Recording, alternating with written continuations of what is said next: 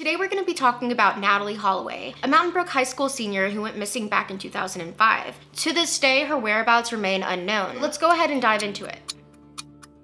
Natalee Holloway was born on October 21, 1986 in Memphis, Tennessee. In the year 2000, she relocated to Alabama with her family and settled in the affluent suburb of Birmingham known as Mountain Brook. In Mountain Brook, Natalee attends Mountain Brook High School and she excels academically. Not only is Natalee a straight A student, she's also a star on her school's dance team. She had plans to pursue a pre-med degree at the University of Alabama on a full scholarship.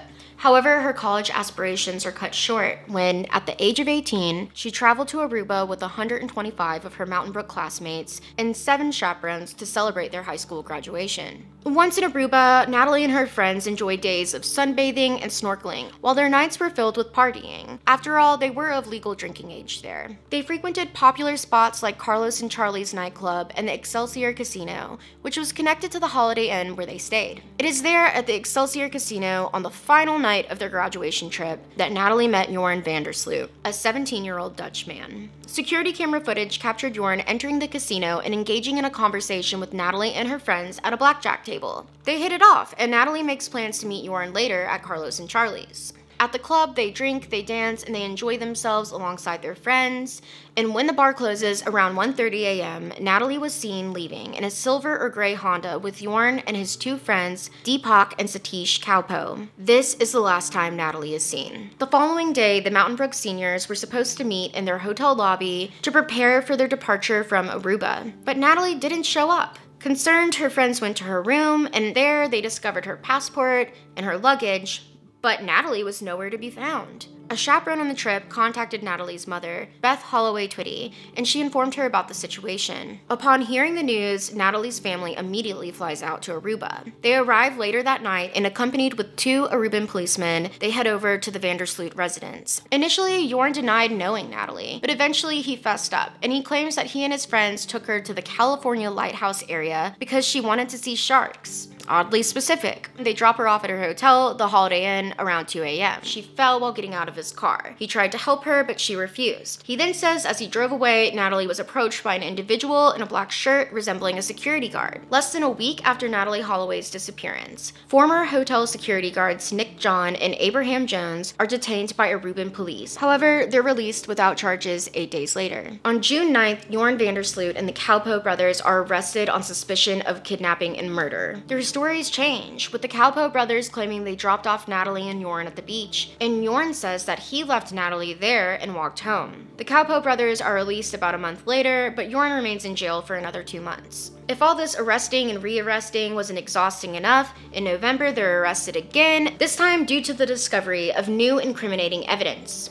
However, the evidence doesn't pan out to be much and they're released later. By the end of 2007, Aruban prosecutors officially closed the Holloway case. But a few months later, the next year, they unexpectedly announced they're reopening the case. A judge refuses to arrest Joran still, though. Also, at the beginning of 2008, hidden camera footage set up by a Dutch reporter captures Joran confessing to disposing of Natalee's body from a boat after she collapsed on the beach. I just think that I'm incredibly lucky that she's never been found. When confronted about the recording, Joran claims he made it up. Now, that same year, Joran does a paid interview with Fox News, and he has a new disturbing story about Natalee's whereabouts. He says he sold Natalee off into sexual slavery. He was interested in me bringing him a blonde girl. Anything offered in exchange for? Yeah, he offered me money. And what did you say? I said, okay, sure. Later, he retracts that statement. Are you noticing a pattern? Unfortunately, there is some evidence that makes his latest tall tale more credible. In November 2008, Joran is involved in a sex trafficking ring in Bangkok.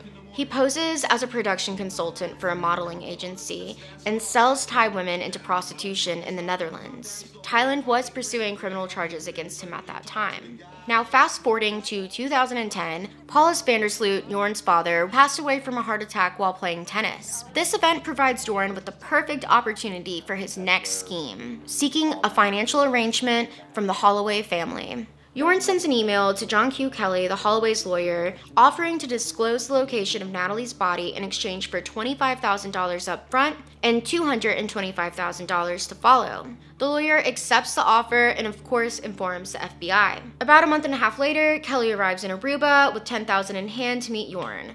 Joran accepts the money and he leads him to a house where he claims his father, convenient, right? Buried Natalee in its foundation. Natalee's mom then wires an additional 15,000 to Joran's bank account, which is in the Netherlands, and Joran goes off secretly to a poker tournament in Peru. It's revealed that the house Joran had directed the lawyer to hadn't even been constructed during the time of Natalie's disappearance, which makes it impossible for her to be buried in its foundation. Furthermore, Joran even admits that he was lying to the lawyer, which is not surprising. On May 30th, 2010, the fifth anniversary of Natalee's disappearance to the day, Joran is involved in the murder of 21 year old Stephany Flores Ramirez in his hotel room in Lima, Peru. Stephany's body is not immediately found because Joran left instructions on the door to discourage hotel staff from entering. He then escapes to Chile, and just a few days later, on June 3rd, he's discovered by authorities with a newly dyed red hairdo in a taxi near Vina del Mar. He's taken into custody and deported to Lima, Peru the next day. Back in Birmingham, Joran is charged with extortion and wire fraud, and an arrest warrant was issued. Later that month, Joran is indicted. He faced these charges following a federal investigation into his attempt to extort $250,000 from Natalee's mother. Despite Beth paying Joran the 25,000 up front, authorities didn't arrest him due to lack of sufficient evidence. Two years later, Natalee's declared legally dead. There's another big thing that happened at the start of 2012, though. Joran pleads guilty to murdering the woman in Peru. He says that Stephany had accessed his laptop without his permission, and she found information that connected him to Natalee Holloway. Joran goes on to say from all the accusations and pressure from the case and Natalee's family making his life hard, it drove him to just go ahead and murder her. That makes sense, right? Joran receives a 28 year prison sentence for murdering Stephany. However, Natalee's family learns that he won't face extradition until after he finishes his murder sentence in Peru. While in prison, Joran gets married and has a child, which is a very strange, contrasting with the lives Natalee and Stephany were denied. And in 2016, Natalee Holloway's father hires a private investigator who discovers an informant named Gabriel. Gabriel states he was once a roommate to John Ludwick, an American who was one of Joran van der Sloot's closest friends back in 2005. According to Gabriel, Ludwick knows what happened to Natalee's body. The private investigator obtains some human bones based on the informant's information, but DNA testing reveals that they do not belong to Natalee. However, Ludwick does confess in a televised interview for a documentary series that he assisted Joran in disposing of Natalee's body in 2010.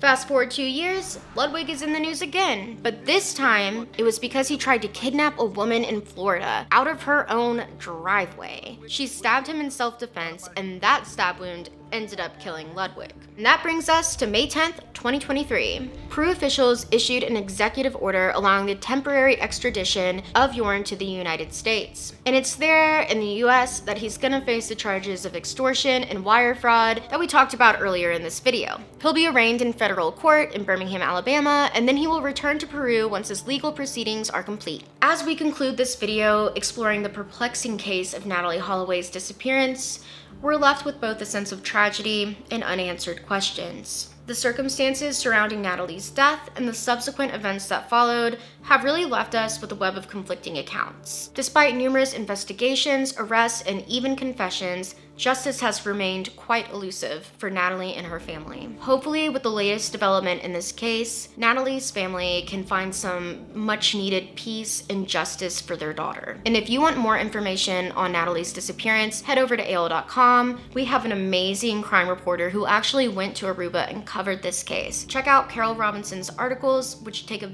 very in depth look at the Holloway case. As always, thank you for watching, and we'll see you later. Bye!